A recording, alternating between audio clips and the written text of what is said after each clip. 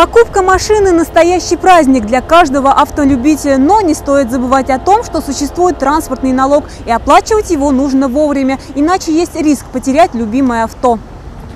С утра пораньше судебные приставы решили нагрянуть должникам, не пожелавшим заплатить налоги за лошадей под капотом. Сумма долга у этого автовладельца составила около 30 тысяч рублей. Сейчас возможности нет Нет, да? в данную минуту. Ну, на данный момент тогда мы осмотрим ваше имущественное положение, описываем вашу Ниву.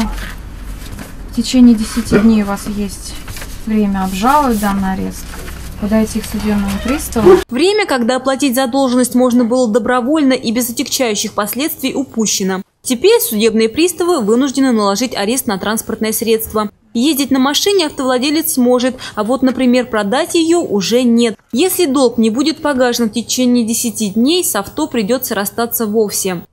В таком случае э, автотранспорт изымается, передается на реализацию и э, э, уже с реализации денежные средства полученные будут уже непосредственно направлены, также перечислены взыскателю.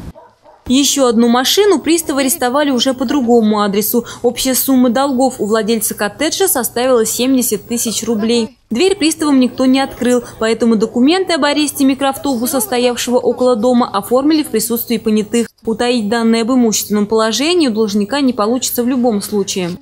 У нас с налоговой службой достаточно хорошо налажен э, обмен документами, э, этой информацией о должниках, наличие счетов у должников, на которые можно наложить арест э, с целью погашения налоговых задолженностей. Кстати, по России в данное время вот еще новация вводится поступление электронных документов, исполнительных именно документов. То есть на бумажном носителе будет это исключено, напрямую будет поступать электронный документ о взыскании налоговой задолженности. Лучше всего обезопасить себя от возможных проблем и не доводить дело до такого состояния, когда им займутся приставы. Еще один Ивановец не заплатил налогов на сумму 20 тысяч рублей. Погасить задолженность ему придется в кратчайшие сроки и в полном объеме.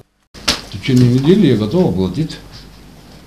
Нет. Либо давайте во вторник, в приемные часы вы подходите к судебному приставу и полностью приносите сумму задолженности, либо просто буду вынуждена у вас записать, проверить имущественное положение для взыскания вашей задолженности. Иначе никак. Очевидно, что визит судебных приставов не вызывает у задолжавших граждан положительных эмоций. Дверь не закрывайте, я вам говорю. Дверь закройте. Не, не закрою. Дверь закройте. Нет. Должника вызовите, и мы будем с ним разговаривать. Ребят, Мы не просто так сюда пришли спектакль устраивать. Должника позовите нам. Хорошо, У нее имеется задолженность. Так, Мы пришли времени? взыскивать долги. 50 с лишним тысяч сейчас я вам верну. Как ни странно, у тех, кто не вносил плату больше года, при появлении приставов нужная сумма оказывалась под рукой незамедлительно. Должник заплатил более 50 тысяч рублей. Лишней нервотрепки избежать можно, если более ответственно подходить к своим финансовым обязательствам. Любовь Почерникова, Андрей Семиволков, РТВ Иванова.